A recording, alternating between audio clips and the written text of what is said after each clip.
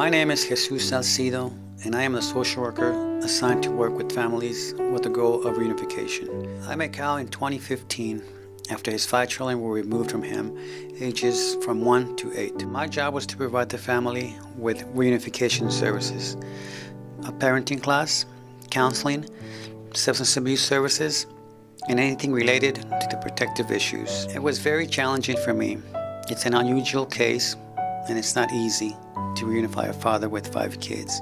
In addition, Cal's parents were able to take all five kids under their care while the father moved forward with services.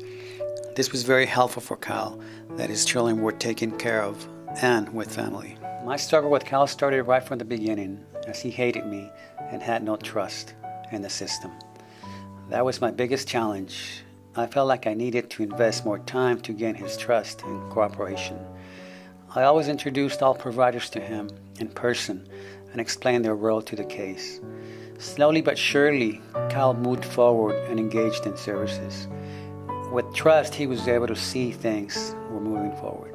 Cal participated in the parenting class, domestic violence classes, and maintained sobriety. During the reunification process, Kile worked diligently to prepare his home for the return of his children.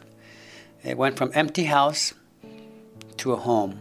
He really showed that he loved and missed his kids. I felt happy for him and began to trust him as a parent. For the first time in months, I saw a smile on his face, which meant a lot to me. Eventually, in a year and a half, the kids went back to live with him.